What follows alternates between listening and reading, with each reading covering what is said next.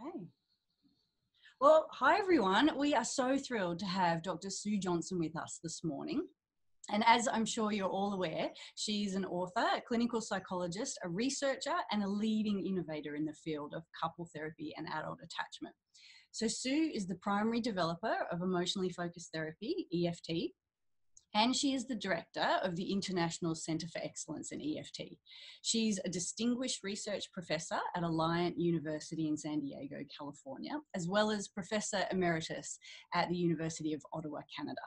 Sue's latest book, Attachment Theory and Practice EFT with Individuals, Couples, and Families, shows the promise of attachment science in making sense of and repairing our most precious relationships and thriving as strong and resilient individuals.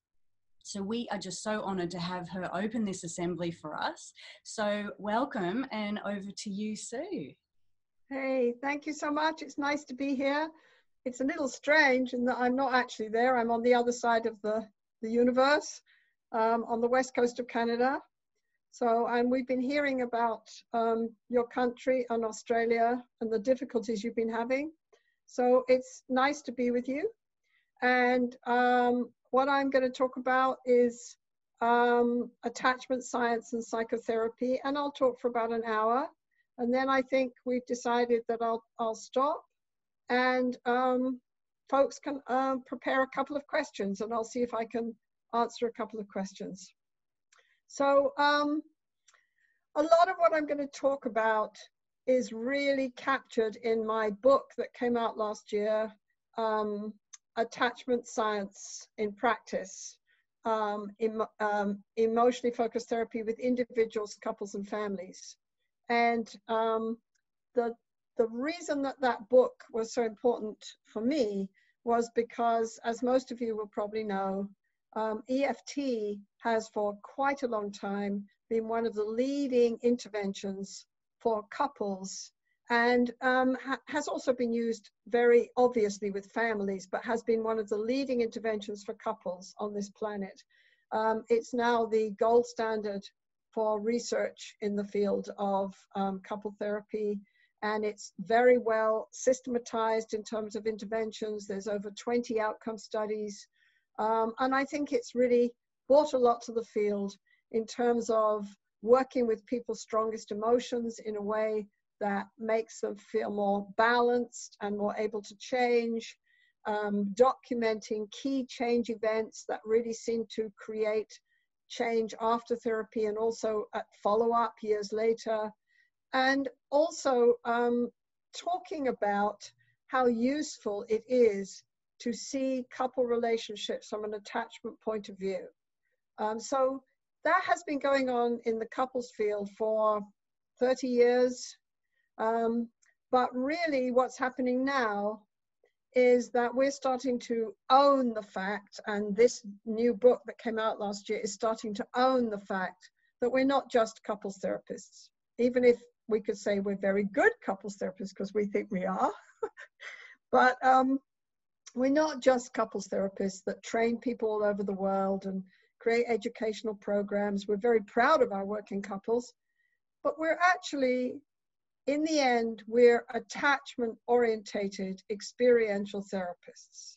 So um, the EFT model stands, grounds itself in attachment science, grounds itself in the attachment science version of who we are as human beings, what our deepest vulnerabilities are, what our deepest needs are, and grounds us in it, it really EFT is grounded in that attachment science and at the same time, in terms of intervention, it brings in all the wisdom from systems theory that looks at relationship patterns and how they define us as human beings, and all the wisdom from experiential therapy, people like Rogers. And with that comes um, really a focus on the power of emotion, the power of emotion either to keep us blocked or the power of emotion to create change. So this new um, if you like, focus in emotionally focused therapy really says we're attachment experiential therapists and it doesn't really matter about modality. It doesn't matter who you have in the room. You can do powerful attachment orientated experiential therapy that uses the power of emotion, whether you have an individual sitting in your office who's dealing with depression and anxiety or PTSD, um, and you know who has a very negative sense of self, doesn't have any emotional balance, cannot regulate their emotions, and cannot create positive relationships in their life to support them, or you can um, work with a very distressed couple and use this map to change, this map of who we are as human beings in the same way. Uh, attachment really gives us a map to people's inner lives and their relational lives, a map that's very practical that you can use in therapy, a map that helps me tune in to every person I see, whether it's an individual or a person in a couple locked in a terrible negative cycle, or um, a, a dad in a family who, you know, the issue in the family has always been that the kid has an anger problem. Then when you start doing EFFT, you suddenly see when you take an attachment orientated approach and you look at the emotional signals flying backwards and forth, you suddenly see that the real problem in the family is yes, the kid is very angry. And what is that about? The kid is very angry and desperately trying to get his father to respond to him, and his father cannot respond to him.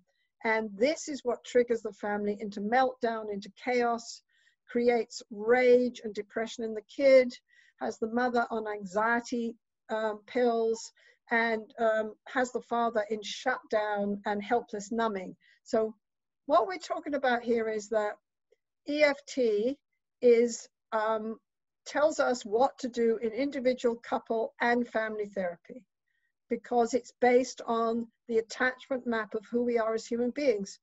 When I say that to you, it's kind of funny when you really think about it that the way the whole field of psychotherapy has developed has been kind of random and higgledy-piggledy, depending on what theorist was most popular at the time or who did a, a interesting piece of research, it hasn't been based on a clear, broad, biological understanding of who we are as human beings. It has not been based on a clear, developmental, rich, broad theory of personality. And that theory also, if it's good, also isn't just focused on personality as me in my skin, it's focused on personality a la how I interact with other people. Because what attachment tells us is we are social bonding beings. So that's like, you know, fish live in water. We live in our relationships. Our relationships create our inner world, our emotional world, our sense of self, right? And ongoingly, our relationships support us to go out and engage with the world or teach us that we are alone and ultimately vulnerable and make it impossible for us to engage with our world in any kind of open way. So we have not based the field of psychotherapy on a clear understanding of who we are, which is a bit like, you know, medicine many centuries ago was based on all kinds of abstract concepts. It wasn't based on the actual structure of the human body. so when you think about that, it's kind of funny, you know.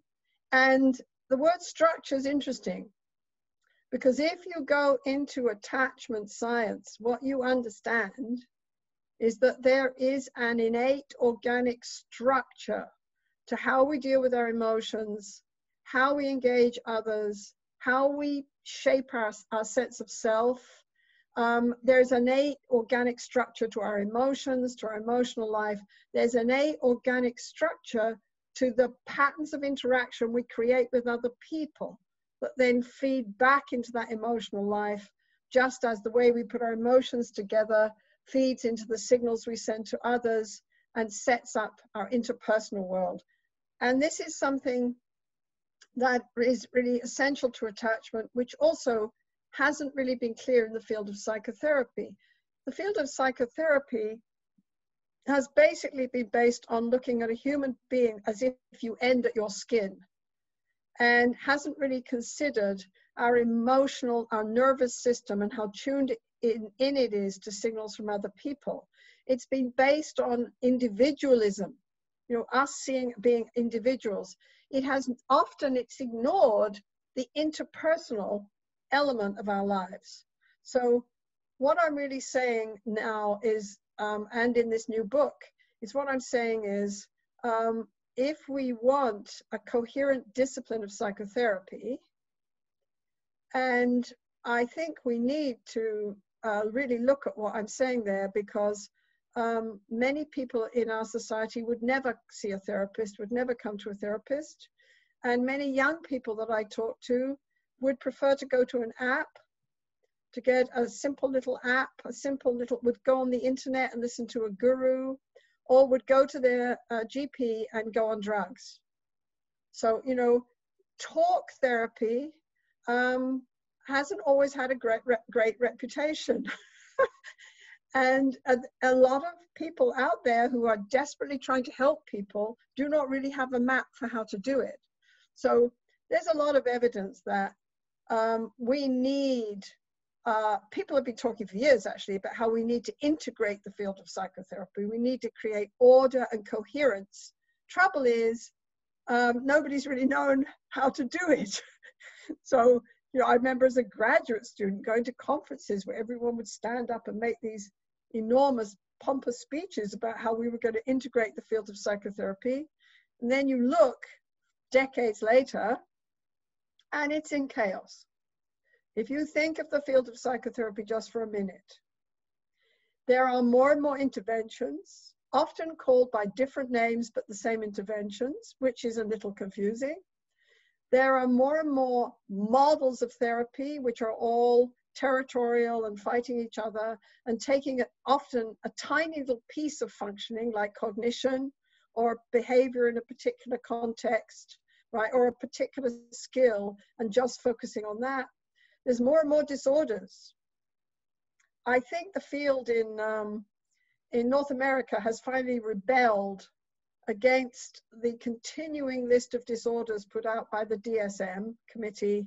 Finally, we seem to have stood up and said, this is so silly, we can't even pretend to agree with it anymore.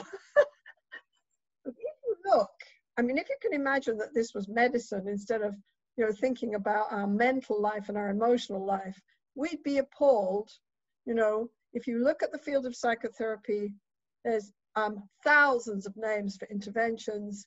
There's over 400 um, formulated models, most of which need um, quite a lot of attention and learning in order to become in any way expert on, in them, right? And there's huge manuals and there's research studies, and all the research studies are looking at proving that this particular intervention works for a very particular part of the population, the ones that you never see in your office. You know, because what comes into your office are people with who say, yes, I'm anxious. Oh, by the way, I'm depressed. And also, by the way, I have an eating disorder and I'm addicted. I'm thinking of my client that I just did a training tape on. And by the way, I'm addicted to gambling. Oh, and also I can't stand sex and I'm a terribly bad parent. so these are the people that come into my office. But sometimes you look at the studies and they're all clean and neat and you know they're just folks that have agreed on a questionnaire to come in and do look at one little piece of themselves, right? So um, it's chaos out there. And um, more and more disorders, more and more interventions, and young therapists come up to me. We train all over the world. And I had one lady in New York who just burst into tears and said, you know, the more I'm reading and the more conferences I go to, the more confused I get. I'm, I don't know whether I should do CBT, AEDP, EFT, uh, you know, uh, IFS. I mean, listen to all these acronyms. You know, um, I'm I'm so confused, and I don't even know how relationships should be to talk to my couples. I don't know whether I should be telling them all to have open relationships, or whether that's a bad idea, or whether I should tell them, oh, if you're not getting along, get divorced, or whether I should teach them communication skills I just felt like taking her in my arms, right? What I actually said, I did express sympathy. What I actually said is, I hear you. And for me, I have to ground myself to do good psychotherapy. And what we try to teach people to do is to stand in the ground of attachment science.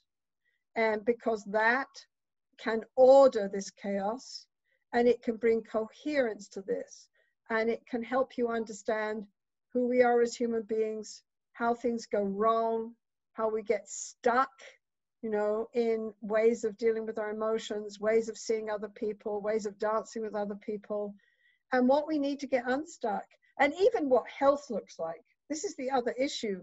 You know, in a field, you've got to be able to identify health. You know, medicine used to identify health as, well, a lack of symptoms. I don't think that's true anymore. I think the world is looking at no, it's not just a lack of symptoms. Health is something proactive, it's about thriving, right? And I think we need the same in, men- in mental health. So, from my point of view, we desperately need um, a core understanding of who we are as human beings and a map for working with human beings. And I, um, from where I am anyway, uh, you know, I remember writing the book and thinking this is such a big thing to say. Maybe I shouldn't even say it. Maybe it's a bit pretentious. But if it is pretentious, that's fine because we have 30 years of, of evidence and research working with very distressed couples that have taught us this. And there are thousands of studies on attachment at this point and hundreds of studies on adult attachment, which has only really been looked at in the last couple of years. So it might be, uh, it's a rather big thing to say, but I'm going to say it, that the answer to all this chaos is a clear, broad, massively researched, rich, relational, developmental theory of personality that is practical enough for therapists to use. And there is only one, which is makes it easier. right? There is only one and that's attachment. And um, it's interesting to me how, um, for years and years and years, um, adult attachment was kind of in the weeds. People would say, no, no, attachment's about infants and parents. Um, adults, something happens with adults, they reach their 12th birthday and suddenly they become these massively independent, self sufficient little beings. And we I think we really believe that. I think there's lots of people in the world who still believe that. That's the way we should be, right? And over the last two decades only, we forget it's only been two decades. It's been two decades since I would stand up at conferences and start talking about attachment and everyone would leave the room, which was a bit demoralizing.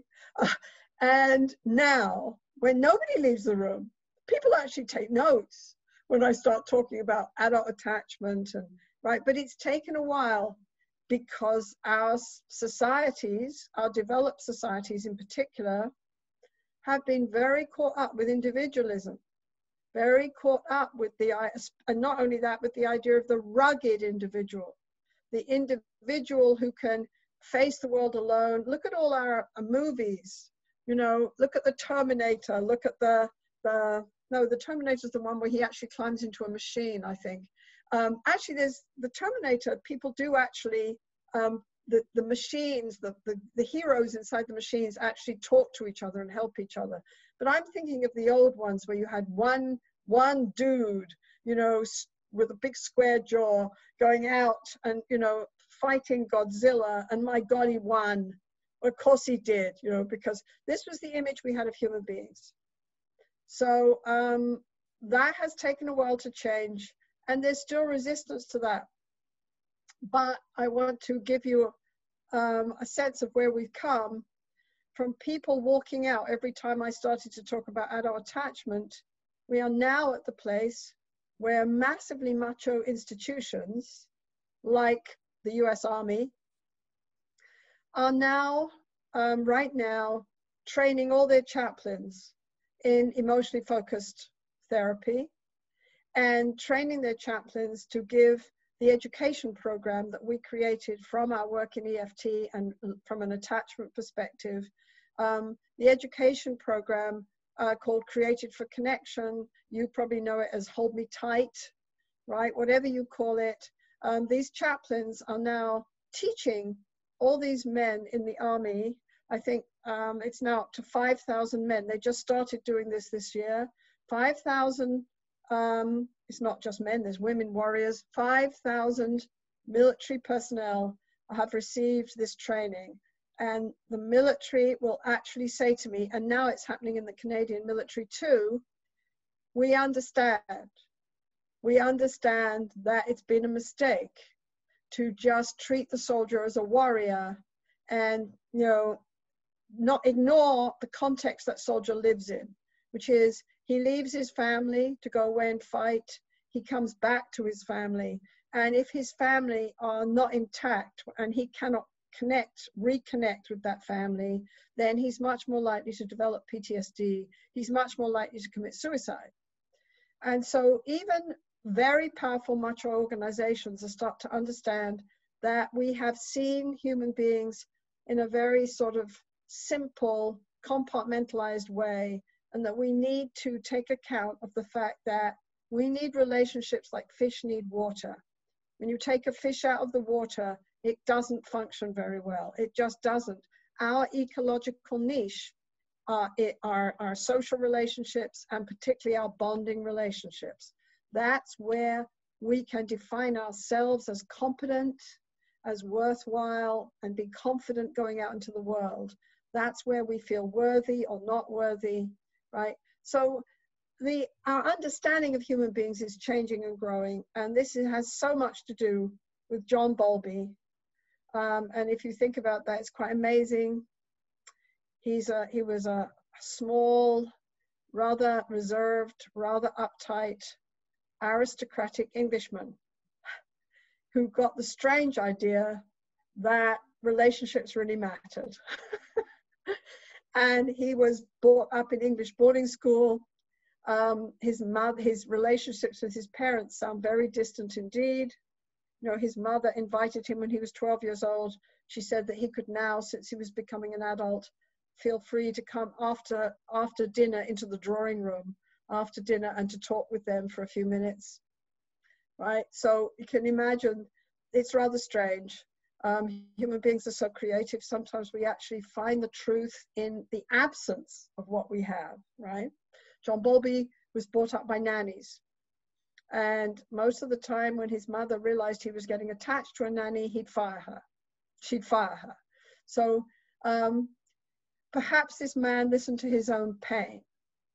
Perhaps this man felt inside what we now know from science, which is if you want somebody to um, lose their sense of self, not be able to cope, and disappear into mental illness, it's the recipe is really simple. You isolate them, you cut them off from other people. Loneliness kills us. Uh, this is not, I'm talking on a biological level now. Louise Hawkley talks about the fact that emotional isolation, if you report emotional isolation, you're two to three times more likely to have heart attack and stroke, and you're less likely to recover from that. So we have so much evidence now of who we are, evidence that wasn't around two decades ago. And really what I'm trying to say in this talk and in the and the book I wrote is that we must listen to this. We must listen to this as mental health professionals. This is gold for us. Right? This is gold. It is true, however, that John Bowlby only had one lifetime. and if you think what he did with it, it was quite amazing okay? Um, but he only had one lifetime. So what he didn't have time to do, he wanted his work to be used clinically. But what he didn't have time to do is tell us exactly how to do that. so in EFT, in a way, we filled in the blanks. We've, we've looked at the fact that if Carl Rogers and John Bowlby had met together, I can't see how they wouldn't have adored each other. They say so many things that are the same. You know, uh, John Bowlby said, if you understand people from an attachment point of view, everything they do, even the most self destructive, apparently irrational things, are perfectly reasonable. If you understand the pain they're in and the fact that they only have so many ways of dealing with that pain, and sometimes that ends up being a way that keeps them stuck So their protection from that pain then becomes a prison in the rest of their life.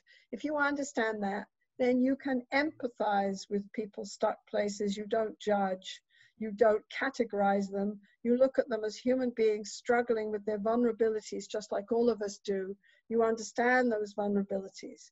You know, I mean, Bowlby believed this, and Rogers believed this. Rogers believed that what therapy was about was not just addressing some symptoms and helping contain them, it was about growing people, growing people into the ability to be real, really alive and to thrive. Bowlby would have put it growing people into a sense of security in the world, that other people are there for them, that they belong in the world, that they're lovable, right? So these two men, I think, would have really got along and Rogers would have been able to say to Bowlby, I listen to you and I listen to how you say emotion is so important. We've ignored emotion in human functioning. We talk about the brain, cognition, behavior, right? We forget how emotion is an amazingly dominating, defining factor in how we put our sense of self together, how we connect with other people, how we frame our world, right? The most basic thing you have to do as a human being is deal with your innate vulnerability. And there are only so many ways to do that. And, you know, basically, this is kind of what attachment helps us see, right? And it, and it translates into what I talk about in EFT is I believe that EFT is on target. It helps us understand the defining variables that really matter in health and in dysfunction and focus down on those and start to shift those. After all, you can create lots of changes in psychotherapy and they'll be peripheral to what's really going on in somebody's life, right? But Bowlby created the big view, the understanding of personality and, and people's needs. And Rogers came along and agreed with that view and then said, right, so what you have to do is join people. Bowlby would have said, yes, connection makes people feel safe. Then they can explore their world, right? So your Rogers came along and said, what you've got to do, he turned all the precepts of attachment into clinically relevant interventions. He said, then you've got to join with people, not judge them. You've got to tune into them. You've got to help them do what a good parent does, which is stand beside a child and help them understand and tune into their world. There's no point in judging them, right? You've got to go with them and move them into their emotional lives and move them through that emotion. So it's a shame those two people um, hadn't didn't meet. I think if they had have, maybe they would have made our job much easier. but nevertheless, what I'm talking about here is we're a Rogerian humanistic experiential approach to therapy. And we believe that EFT epitomizes what John Bowlby would have wanted in terms of an attachment orientated approach to psychotherapy, individual, couple, and family. So what we're what we're talking about these days is you can doesn't matter whether you're doing EFIT, emotionally focused individual therapy, or EFT for couples, addressing healing a distressed relationship so it becomes a place where both people can grow and thrive, or EFT, EFFT, right? um, which is emotionally focused family therapy. It doesn't matter what you're doing. Um, if you take an attachment frame and you accept that EFT has worked in that frame for years and epitomizes that frame, we have a new way forward. We have a way home in psychotherapy. So for me, this is um, this is kind of what I was searching for as a graduate student. This is what I would be, you know, I'd go to conferences like a crazy little weird red-headed crazy student and stand up and ask very rude questions in in talks um, which you know I was relatively unpleasant, I think, in those days because I was on fire. I wanted to understand, and nobody could really tell me, you know, what made people tick and why couples had such horrible relationships and what people's pain was all about. And somehow I just couldn't handle the fact that I couldn't understand. So um, for me, it feels like suddenly things are coming together. And when I watch uh, us teach uh, health professionals all over the world in our externships and um, just in the talks we give, no matter what modality we're teaching, I see the need, the hunger in health professionals to understand their clients, to understand us as human beings, to be able to engage with those people, to have a clear way of seeing those people, to know, have systematic interventions that they can use with these people will create change in every session. Um, I see, I see this hunger, right? And I see when we do our trainings, um, the shift in therapist sense of self. Now, we've actually done two research projects on this. We, we research everything in EFT. We're a bit crazy. So, um, you know, there's actually two beautiful research projects that came out in the, the Journal of Marriage and Family Therapy that talks about um, what happens to people who do our four-day externships all over the world. What happens to therapists? And it was very fascinating because people reported, well, I feel more confident and competent with my couples, right? I feel more confident and competent with my clients, whoever they are, because most therapists don't just see couples, they see individuals and sometimes families. But they also reported, which was very neat, that also I feel like it's grown me as a person. That's right. Because you know, psychology is the understanding of the psyche and, and attachment gives us a way of understanding our own vulnerabilities, our own needs, the, our own ways of getting stuck in our relationships. So this has amazing promise for us, amazing promise for us in the field of psychotherapy, amazing promise for us as human beings. In uh, a book I wrote for the public a few years ago, Love Sense, in the last chapter in that book, I talk about civilization and say, you know, what is it? You know, um, there's a lovely story about Mahatma Gandhi going um, to England and somebody say, asking him what he thought of English civilization. And Mahatma Gandhi said he thought it would be a very good idea. So the question is, what is civilization? So civilization for me is a society that recognizes a, in a very deep way who we are as human beings and what our needs are and structures a safe society where we can get those needs met, where we can thrive and grow and find our own potential and take care of this planet, right? So um, what I'm really saying is um, this understanding of who we are um, can lead us forward in more ways just than in psychotherapy. Having said all this, and I was going to be incredibly disciplined and look at all my slides and tell you it all incredibly in a disciplined way. And I haven't done that. Somehow I just start talking to you. So let me get a bit more disciplined here because otherwise it'll be question time and we won't have covered enough.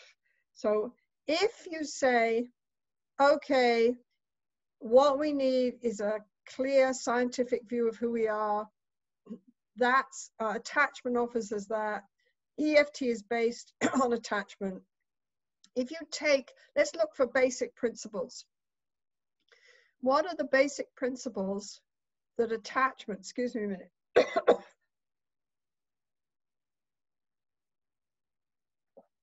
What are the basic principles that attachment puts out that guide the therapist?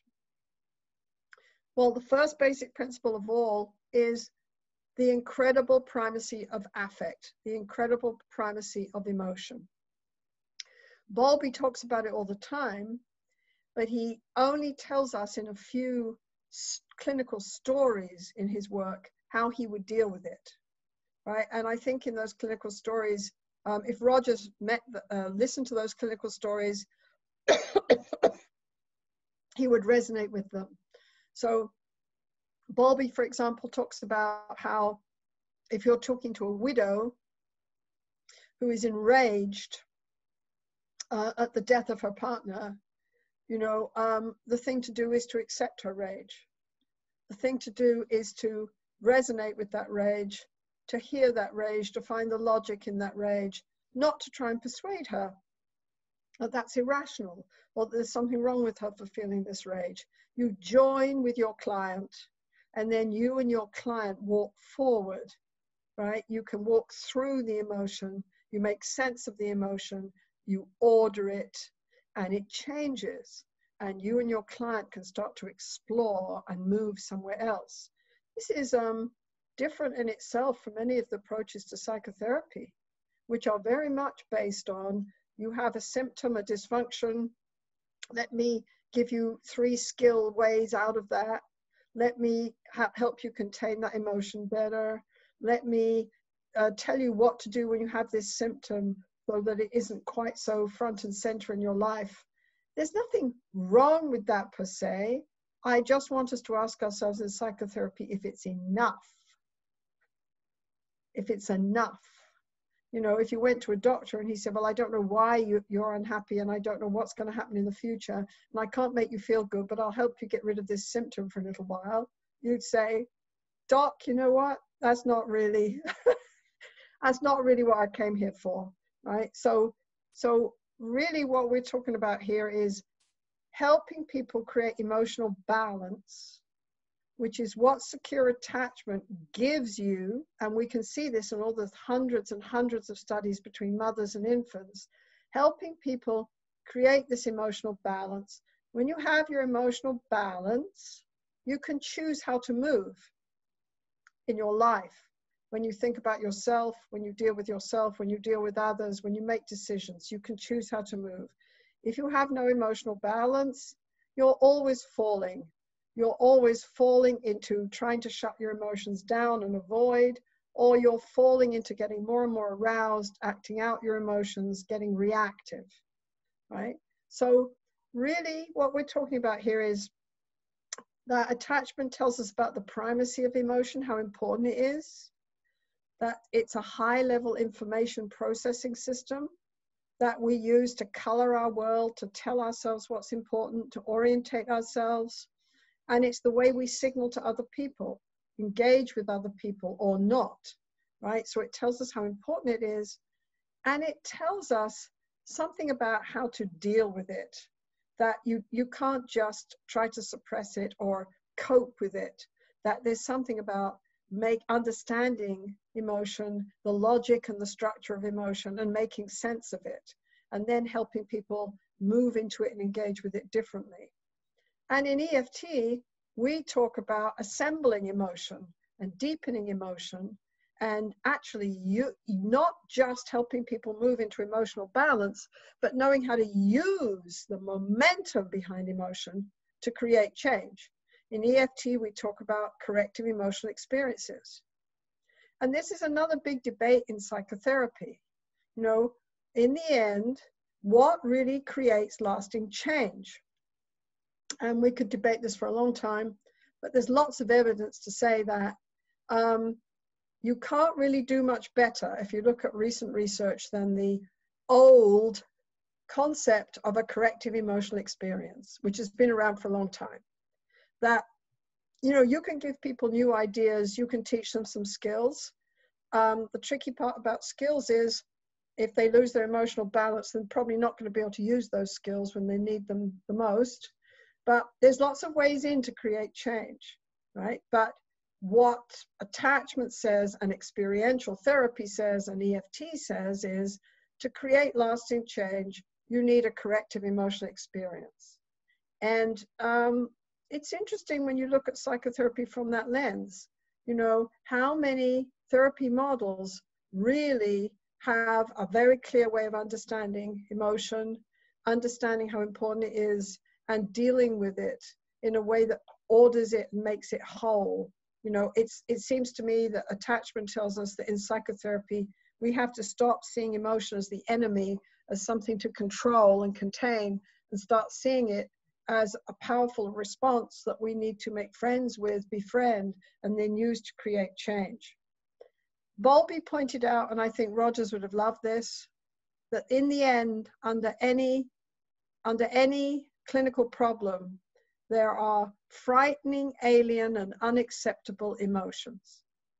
frightening, alien, and unacceptable. Hmm. The word that hits me there is alien because I see so many clients who've seen other therapists and who've been given all kinds of labels for what they're going through and how how stuck they are. And a lot of times what I see is that they're in a world that just doesn't make sense to them. They don't know how to make sense of their inner world. They don't know how to make sense of the um, world of relationships. So, you know, when I'm doing family therapy and little Jacob is uh, in in family therapy because he's taking the house apart. He's only 11, but he's enraged. He's taking the house apart, and the the family agree that he's the problem, right? What I see is that when the family dance gets going, it's the complete shutdown and numbing out of the father. That's the problem. And the mother and the child are creating all this chaos to somehow get some engagement from the father. And if you go in and you talk to the father, and he's been given lots of skills to deal with his son, none of which are working, okay, because everybody's off balance in the family. And when you talk to the father and you listen to him and you say, What's happening to you as your son turns and reaches out for you? And that's an experiential, what's happening for you, right? What is happening right here? Right? That's an experiential question. And the father looks at you and there's panic in his eyes. And I say in a soft voice, My sense is you just don't know what to do. And he says, I don't know how to be a dad. I don't know what to do when he reaches for me. And suddenly I have enormous empathy for this man who's telling me being a father is an alien experience to me. Responding to the look of desperation in my child's face is alien to me. This is a strange alien world where I don't belong and I don't know what to do and I feel incompetent. Huh. Then, when I see him that way and I can tune into him that way, I know what to do. I go in and I support him. And I'm going to talk to you in a minute about something called the EFT Tango, where I'll tell you exactly the structure I use to support him. But I go in and I talk to him. And the first thing I do is help him see what's going on in his experience and have him look into my eyes and he sees, um, I say, this must be so hard for you to want to be a good dad and to feel like you don't know the dance, you don't understand the music, you don't know what's going on, you don't know how to do this. He said, I never had a dad. I said, I understand. This is so hard for you. And this man who's numbed out and, and absent and never comes home weeps. And his wife looks at him like she's never seen him before. And he says, You're the first person that's ever seen that. Huh? So I have an attachment orientated map. I have a map to people's emotions, a map to their vulnerabilities, a map to their needs. And this empowers me. It gives me confidence as a therapist right? So you know in our in our trainings we do live sessions where people we've never met before the therapist tells us a little bit about them you know and we sit and we're taped and people are watching us which is kind of intimidating and we do live sessions with people we've never seen before distressed couples families individuals right and people sometimes say to me how can you do that well, I couldn't do it just as me. I couldn't do it without this attachment understanding, this map to who we are, without understanding about emotion. I couldn't do it, right? So Bowlby and Rogers both said emotion matters. The key issue in, in most problems you're going to see in your office is emotion regulation how people are either overwhelmed by or numbed out and, and are alien to their own emotional life. The second thing that attachment tells us is if you're going to do good psychotherapy, you've got to have a really special kind of alliance.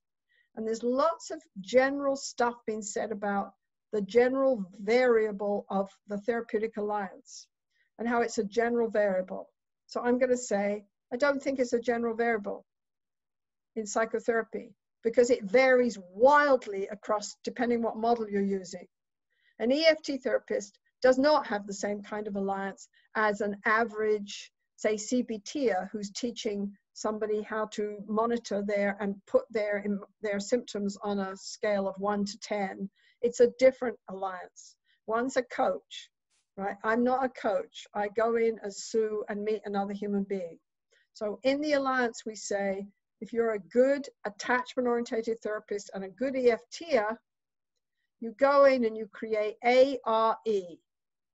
You, you create accessibility, responsiveness, and engagement. That's what a good bond looks like. That they are the that's the definition of a good bond. A mother and a good mother is accessible, responsive, and engaged with her child. Right? A good therapist, if you're an EFT therapist, you are emotionally accessible, open, attuned, connected. You are engaged. You are there for your client. You are curious. You, you follow them. Even when you don't understand their experience, you follow them, right? You are engaged with them. You are responsive. So when a woman comes into my office and says, I don't want to be here because I've got, a, I've given birth to a disabled child and you're going to tell me what every other therapist has told me, which is basically suck it up and cope and give me all kinds of coping skills. And I don't want to be here because that's what you're going to tell me. And I sit and I say, How do you feel as you talk about your child? She says, I'm enraged. I'm angry. And you're going to try and persuade me not to be angry. So my job is to join her in her rage. My job is to understand her rage and say, of course, you're angry. You feel cheated. I took all the tests. The tests were all negative. This wasn't supposed to happen. I'm not the kind of person that has a disabled child. I'm not going to do this. I'm going to give the child up. I say, yes, I hear you. You're telling life, you can't do this to me. I won't let you. You feel so out of control and she weeps. Hmm? So we have a special kind of alliance. The other thing about attachment, it says good psychotherapy, you have to focus within at how the person's creating their emotional life and how those emotions access models of self and models of other. They access and prioritize certain cognitions. And you have to focus between how people interact with other people. And you have to do both. And that again is different from many models of psychotherapy where you just do one or the other. Mm-hmm. Where you just focus on, you know, you go for family therapy and, and it's all about what's happening in the family, or you go for individual therapy and the, the, the, the person talks to you about your depression and how it comes from your childhood. But there's no asking about what are your relationships like now. Right. The other thing that attachment does is it gives us a way of being with people that understands how people get stuck in certain ways of dealing with their emotions and they only have so many ways of coping with that and they get caught in rigid ways of being seeing themselves being with other people and it gives us a, a goal a destination it gives us a model of health i don't just want my clients to tell me i'm less depressed that's not enough for me I want my clients, what did my lady say to me the other day? Very traumatized lady. I said, You come in here and you talk to me. I've had maybe 12 sessions with her. You talk to me.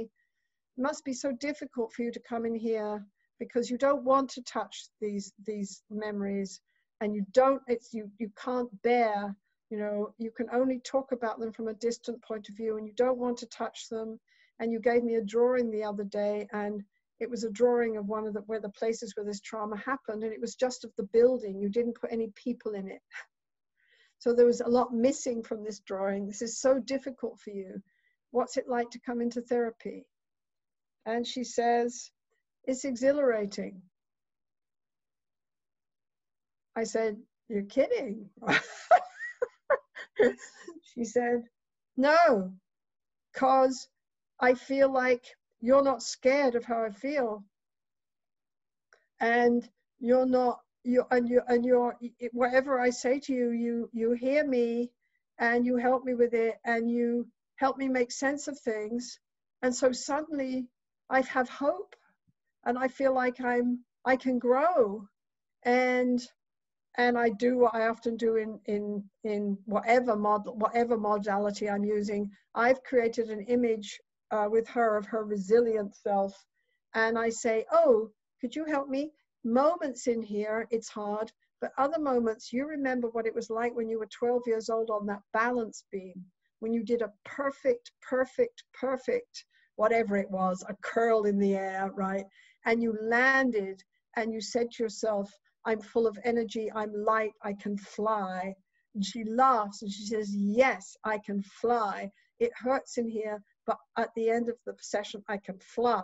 So we have a sense of health. We have a sense of, if you go and look at what secure attachment looks like in all the research studies, secure attachment, right, which is associated with the ability to deal with ambiguity, the ability to deal with stress, resilience, feeling good about yourself, engaging with other people. Is secure attachment predicts every variable known to man that predicts thriving. Okay, we have a model of health, we know where we're going. The other thing that attachment tells us to do is to stay with our client and not get lost in abstractions, but to stay focused on present process you know, John Bowlby, he, his, all his ideas were really um, solidified by looking at how a mother and a child interacted in a research project called The Strange Situation, okay? He didn't say, oh, I got all these ideas, let's just write them down and then play with them forever, right? He said, let's take these ideas and look at how they turn up in the immediate experience in present process in the drama that I can see in front of me a strange situation. And you've got a mother and an infant, they're coming together, and then the mother leaves the infant for three minutes and comes back. And you see what happens. You see the infant's inner drama in the way they express their emotion. You see how she, the, the two interact, right? And how that creates a pattern that keeps going, right? And, and then feeds back into the emotion. Basically, both Bowlby and Rogers stayed in present process. They said, stay with your client, stay and see how the self is, it develops and is shaped in the interaction right in front of you, in how they tell their story and in their emotional expressions, in how they talk to you. Stay there, right? Stay in the present and look at the process. If you stay with process rather than always getting caught up in product and goal and controlling things and where you're going, you can't really get stuck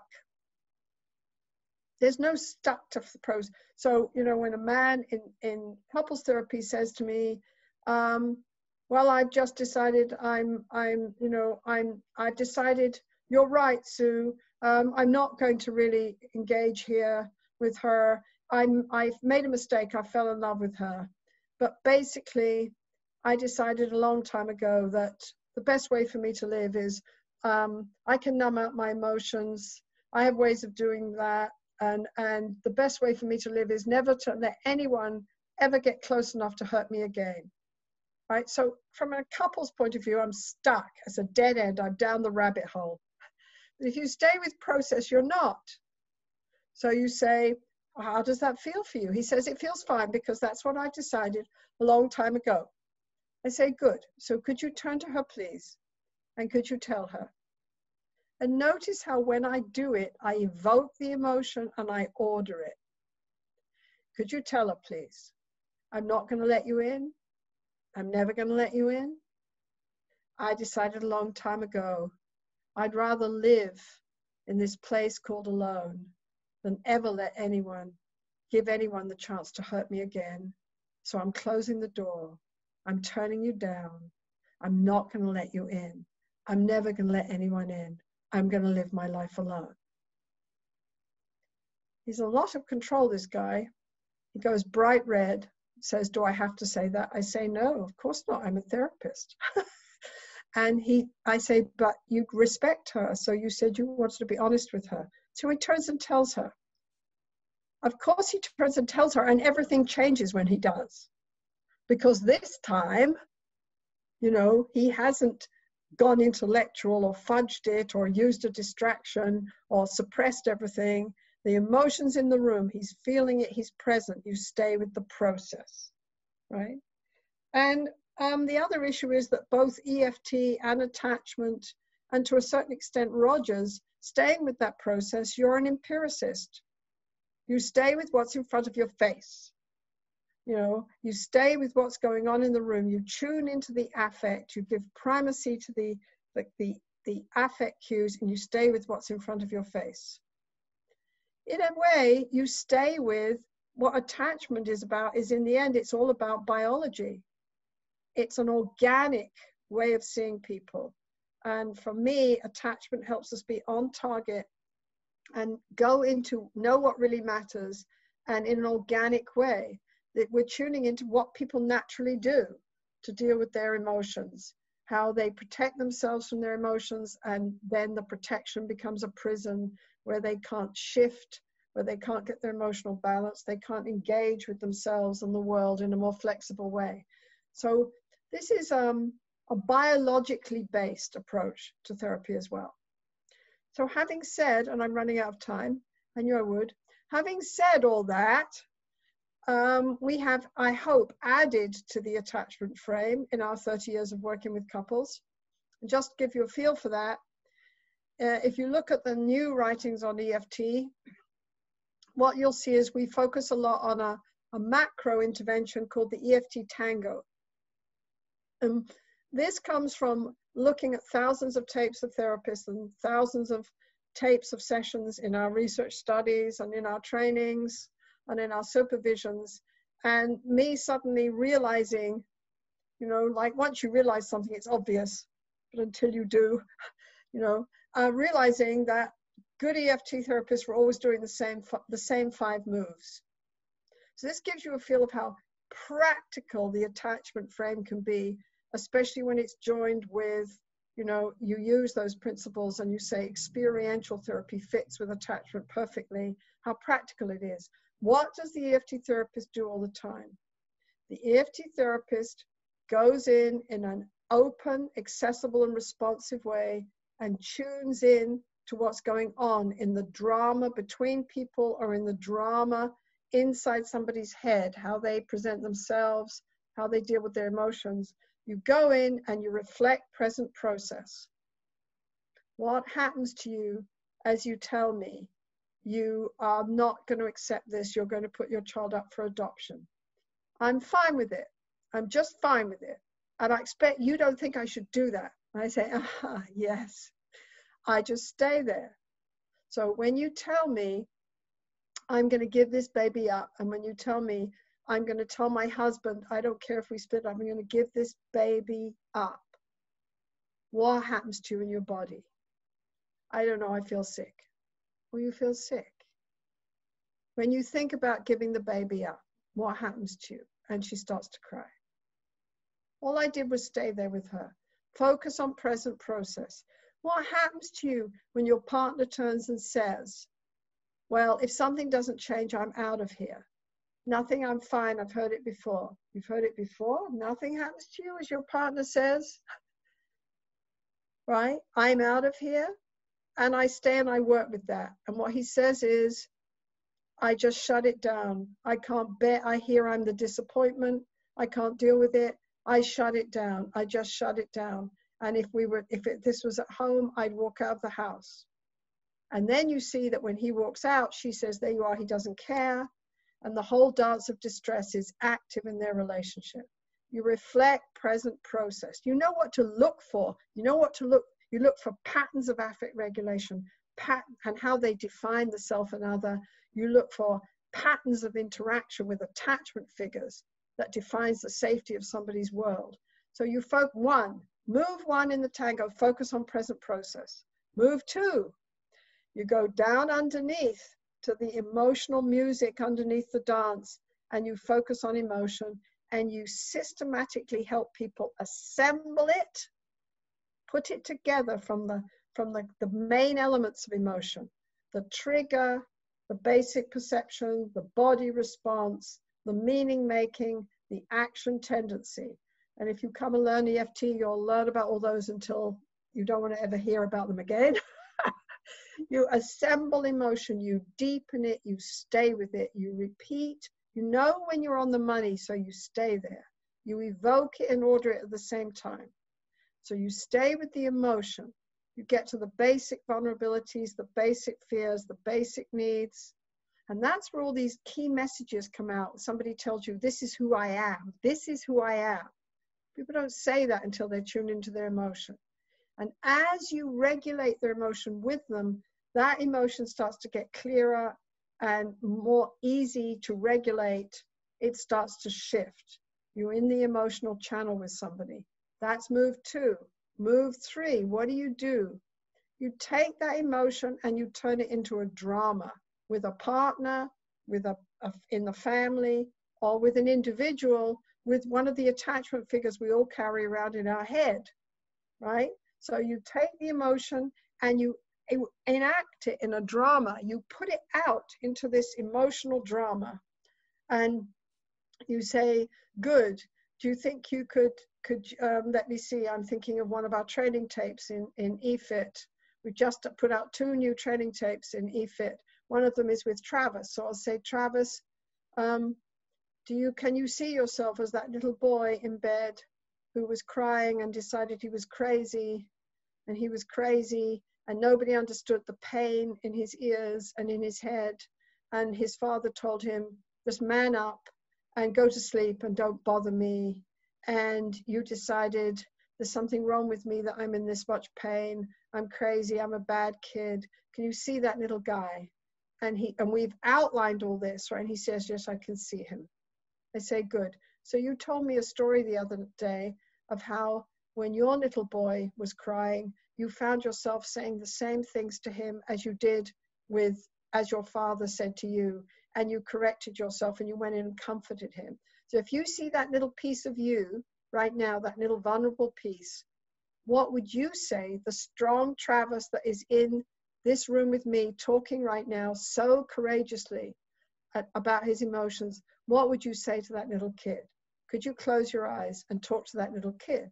And Travis starts to be a secure, loving parent to his little vulnerable self. Huh?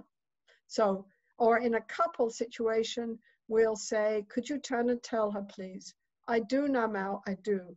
I numb out because I'm so overwhelmed. I'm so scared I'll never please you. So I freeze and I'm overwhelmed and I numb out and I turn away from you because I'm so scared. You take the emotional music, the new emotional music that you've, ex- you've expanded and regulated it, regulated, and you turn it into new messages and ways of engaging key people in this person's life or a key part of self, right? So you create an emotional drama. You enact people's inner reality into these eh, relational dramas. Right, that's move three. Move four, you process what just happened. Travis, what happens to you when you turn and close your eyes and comfort this little vulnerable part of you? And he weeps and he says he really needed comfort. I said, I understand. And he said, and you know, he never got it. I said, I understand. And he weeps and he says, I've spent so long deciding there was something wrong with me. And all I was was a little boy who needed comfort. And he grieves for that, right? Right? So we look at what's going on and we process what's happened. We process the drama. We help people take it in, make it coherent, regulate it, right? So, or we say to a, a, a, the partner in a couple therapy, what happens to you when your partner says, I do shut you out because I'm so afraid? And she says, I never knew that. I never knew he was afraid. I never understood he was afraid. I, did, I thought he just didn't care. And she turns and puts her hand on him and says, I don't want you to be afraid. This is a shift. This lady came in amazingly angry, ready to leave this guy.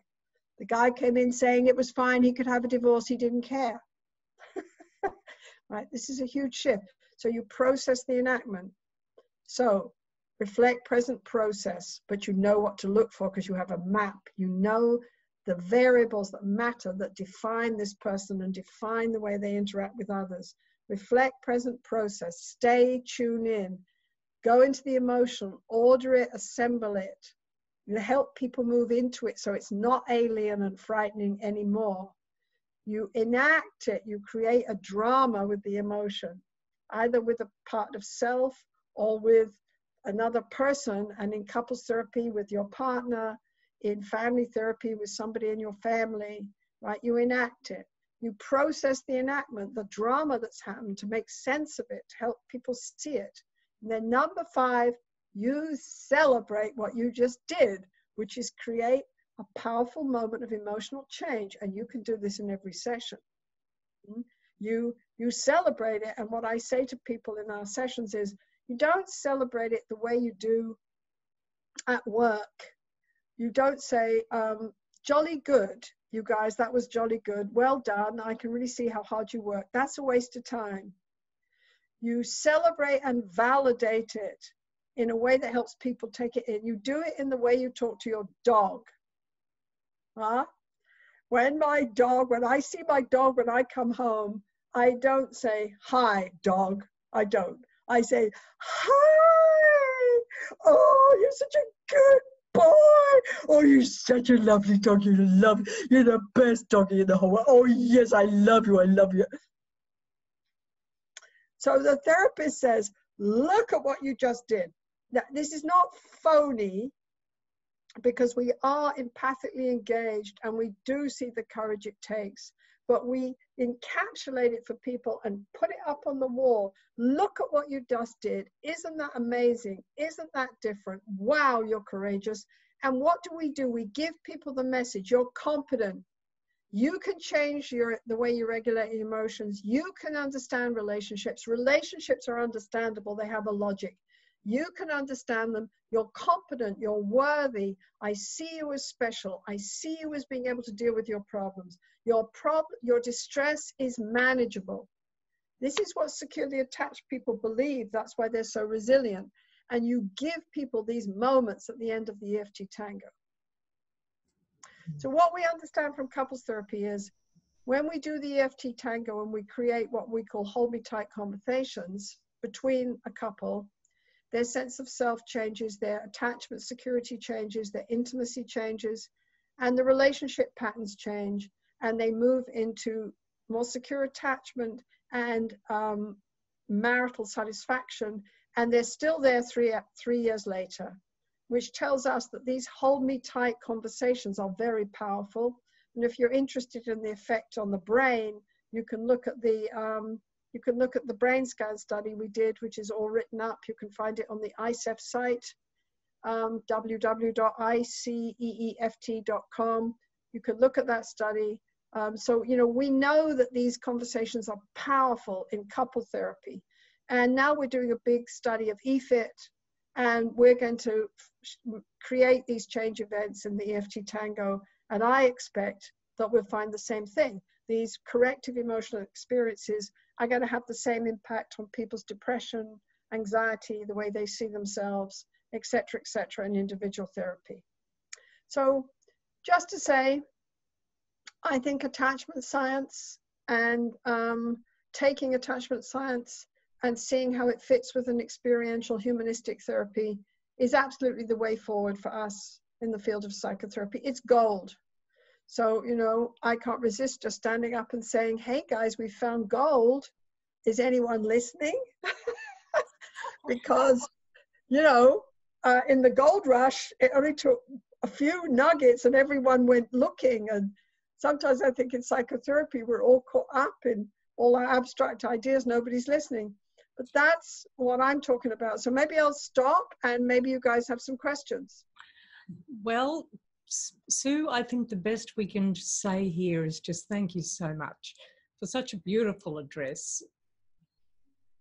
You're most welcome. It was fun. I don't really think we have a lot of time for questions, and I don't really feel this is the place. I think um, those of us sitting here now who've had the pleasure of listening to you are um, very aware that you are giving us nuggets of gold. Yeah. And we thank you very much. You're most welcome, and I'm so happy to